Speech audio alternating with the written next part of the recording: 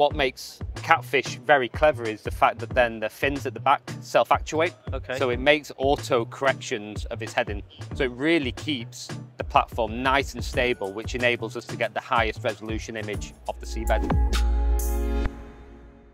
Can you just obviously tell us a little bit about this? This is our towed uh, Catfish 180. Yep. So it's a towed synthetic aperture sonar. So what Kraken developed was synthetic aperture sonar, and that's what you've got here is the actual SAS transducer. And what SAS wants is a very stable platform. So then what we developed is the actual tow body. So this is a remotely operated towed vehicle, Catfish. Okay. Yep. And within Catfish is then our synthetic aperture sonar.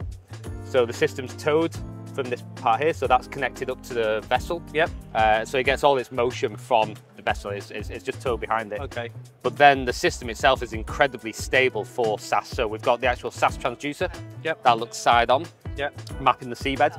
We've got then a gap reducer, so a secondary SAS system that's looking more vertically down, just to reduce that nadir gap. Yep.